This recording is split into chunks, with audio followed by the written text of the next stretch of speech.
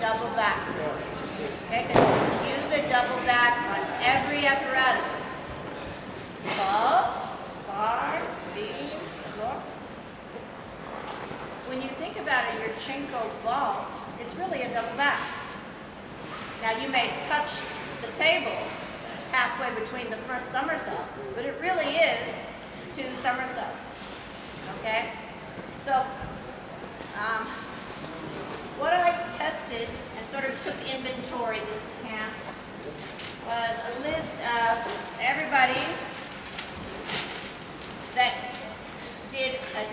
Tuck with no spot. It may not have been perfect, but at least you're attempting it off of a trampoline onto, you know, not a free foam pit, but a, a flat surface, it's soft. Then I did double pikes with no spot, and then the open tuck double with no spot. Now the list got gradually smaller because an open tuck double takes a lot more core strength, a lot more aerial awareness, and it's about right. It's about what I expected. But next camp, I want a lot more people showing me your open tuck double. Double pike is really not that hard. That's not that big a deal. Open tuck double. And coaches, if you don't have this sort of setup, get them in a belt. You know, just get them going around twice. Any which way that you can. So I will be typing this up and keeping track as the camps go by. So every six months when I see you, I will be saying, how's your open double top? Okay, so um, can you just show me a plain double top, first of all, grabbing your knees. Okay, just good tight body on the height of the jump and double tuck. Okay, you don't have to clap every time so we get going. Okay, so I might have been a little bit far back, but it's good height. She knows what she's doing. No problem. Why don't you show me double pike? Then we went on to double pike. Good.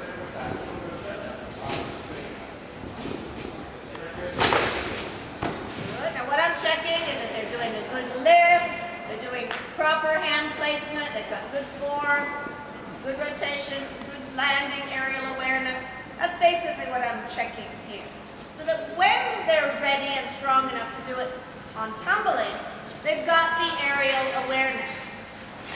Okay? Now coaches, this is a whole nother lecture in itself, but in a nutshell, aerial awareness and all their twisting and flipping skills biomechanically need to be taught before the age of 12 or 13. All of them. It doesn't mean that they're strong enough or mature enough to go competing, but they need to know where they're at, double backing, twisting, forward and backward. Before the age of 12 to 13. The older they get, as the brain develops, it, that part of the brain stops learning. It stop, stops accepting biomechanical changes freely. You can learn it, but it's much, that is why we're so crazy about teaching this stuff early. Correct, but early. Okay? All right, let's do some open tucks now. Open double tuck so that I know, they know where they're at on the breadth axis. Good. Okay, again. And what I want is, hold on a second, let me flat on your back. Arms up. What I'm looking for is this, basically this position. And then, again, nice strong. Okay, that. So they set, set your arms up. They set straight like that. They set off the trampoline like this. Okay, a little bit stretch. And then they rotate like this. Okay, just free and open. One, two. So that at any moment, they can full in, they can full out, they can full in, full out. They can double in, double out. But it's got to be able to rotate in this position. So that at any moment, that arm can go. Okay? All it is, it's go like that. It takes a really strong core to maintain that shape, which when centrifugal force is trying to pull them out of it. There you go. If she, if they can land straight up and down like that, then they're ready for a, a twist on the longitudinal axis. Because I trust that their rotation, I would pile mats up and do some um, full twist to their back and roll out, that's, that's what they think. Uh, they're not quite ready for that. What they are ready for is to get in the belt and start learning um, the timing of their, of their twisting. So I would like to see that happen at home. Okay, so that we can move on to the next camp. All right, so lots of trampoline work.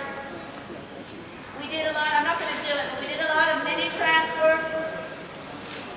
Jumping off of a trampoline or anything with springs, tumble track, mini, normal tramp, it will over exaggerate an early twist or a late takeoff or something. So it's really the best way to learn your twisting. And it can be easily transferred over to floor when they're ready. But I really um, encourage you to learn it off of a trampoline in a spring system. So they have more air time. It forces them to go up before they turn. So